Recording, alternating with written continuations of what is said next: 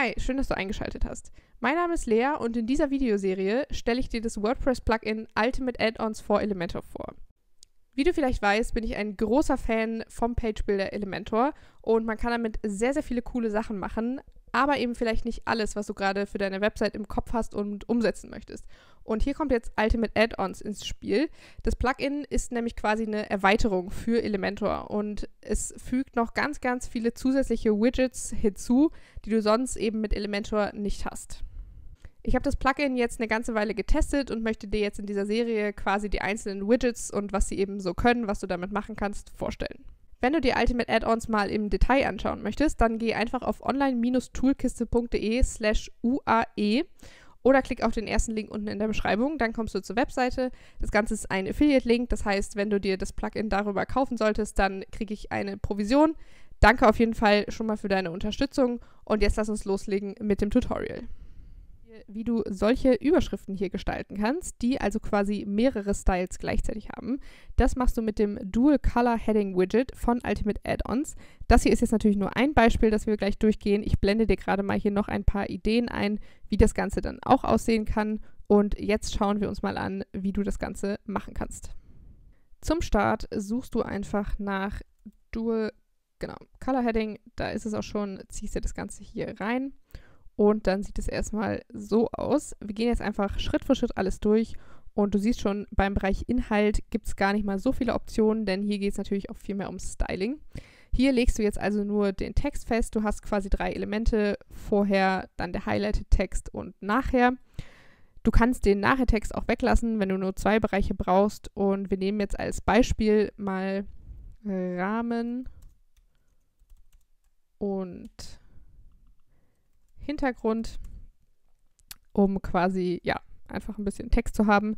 Ähm, und das ist jetzt eben genau das, was ich dir jetzt zeigen möchte. Genau, du kannst auch noch einen Link setzen und das war es dann aber eigentlich auch schon hier mit dem Inhalt. Richtig interessant wird es unter Stil. Und hier haben wir jetzt aber auch erst noch ein paar generelle Einstellungen, zum Beispiel welches Tag die Überschrift kriegt. Voreingestellt ist immer H3. Du kannst das Ganze aber zum Beispiel noch auf A2 ändern, dann wird es automatisch etwas größer, aber die Größe kannst du natürlich dann gleich auch noch individuell festlegen. Dann die Ausrichtung, da wähle ich mal zentriert und als Layout ist jetzt immer Inline vorausgewählt. Die Alternative wäre Stack und dann werden die einzelnen Elemente eben nicht nebeneinander, sondern untereinander ausgewählt. Wenn du bei Inline bleibst, kannst du hier noch einstellen, wie das Ganze dann auf Mobilgeräten sein soll. Also ob quasi dann auf Smartphones oder auch schon auf Tablets so gestackt wird. Ja, das finde ich mobile durchaus sinnvoll, aber da musst du dann einfach mal schauen, wie das Ganze bei dir aussieht. Und dann kannst du noch den Abstand zwischen den einzelnen Elementen festlegen. Genau, hier wird ja jetzt erstmal kein äh, Leerzeichen angezeigt, aber da kannst du dann hier eben quasi den Abstand individuell feststellen. Das waren jetzt so die allgemeinen Einstellungen und jetzt kommen wir zum richtig spannenden Teil endlich, nämlich dem Styling der Überschrift bzw. dieser einzelnen Parts eben hier. Sieht erstmal relativ unspektakulär aus, ja. Du hast hier die Textfarbe, die machen wir mal grau und Typografie, wo du also die Schriftart einstellen kannst und die Größe. Mache ich mal so auf 35 und Schriftschnitt so 500, dass es ein bisschen fetter angezeigt wird. Genau, und du siehst schon, Sobald ich jetzt hier eben was verändere, gilt das erstmal für die komplette Überschrift, also für beide Elemente.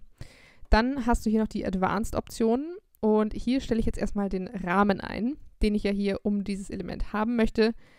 Der Rahmen soll durchgezogen sein und mal so eine Breite von drei Pixeln, genau.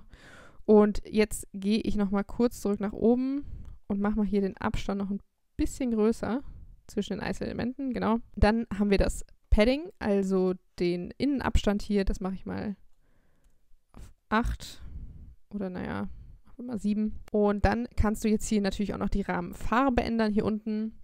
Ähm, die ist jetzt erstmal genau die gleiche wie die Schrift auch. Kannst die äh, Ecken hier natürlich abrunden.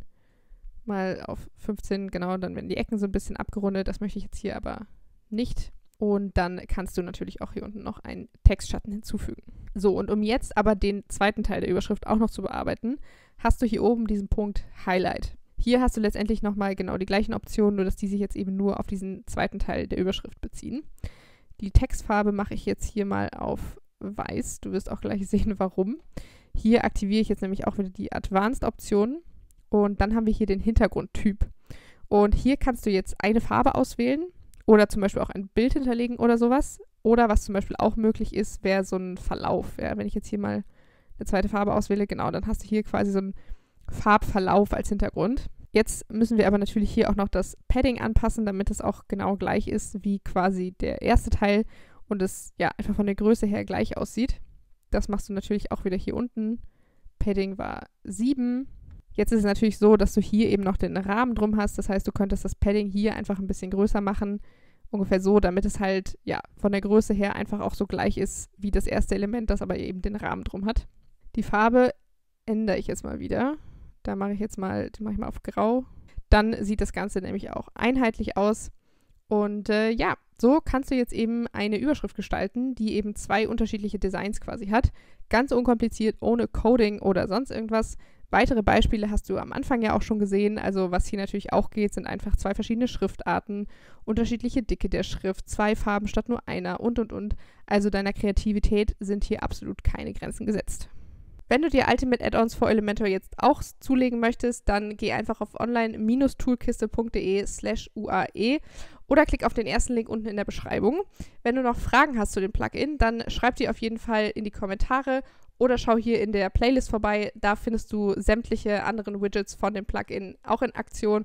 Kannst dir das nochmal in Ruhe anschauen und wir sehen uns dann im nächsten Video.